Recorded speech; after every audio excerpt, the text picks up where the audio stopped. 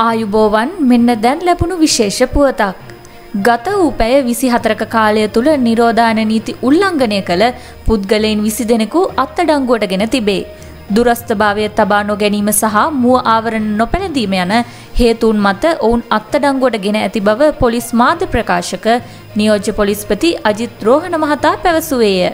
ඒ අනුව පසුගිය ඔක්තෝම්බර් මස 30 වනදා සිට මේ දක්වා කාලය තුල නිරෝධායන නීති උල්ලංඝනය කළ පුද්ගලයින් 1611 දෙනෙකු අත්අඩංගුවටගෙන තිබේ. මේ අතර කොළඹ දිස්ත්‍රික්කය ආශ්‍රිත පොලිස් බල ප්‍රදේශ නමයක් තවදුරටත් හුදකලා කර ඇති බව පොලිස් මාධ්‍ය ප්‍රකාශක නියෝජ්‍ය පොලිස්පති අජිත් රෝහණ මහතා සඳහන් කළේය.